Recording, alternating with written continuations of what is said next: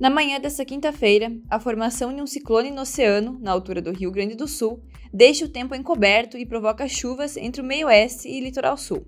Entretanto, ao longo do dia, um sistema de alta pressão atmosférica avança por Santa Catarina a partir do extremo oeste, fazendo com que a nebulosidade se dissipe e o sol apareça.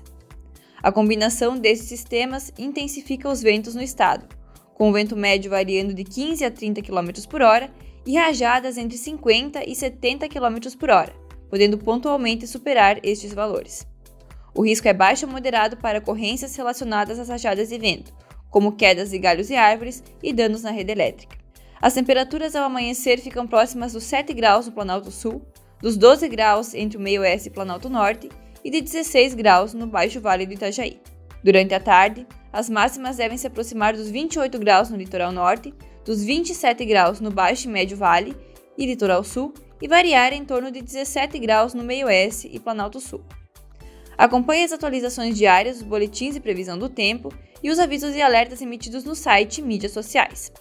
Para receber os alertas da Defesa Civil por SMS, envie de seu celular uma mensagem de texto sem custos para 40199 com o número do seu CEP.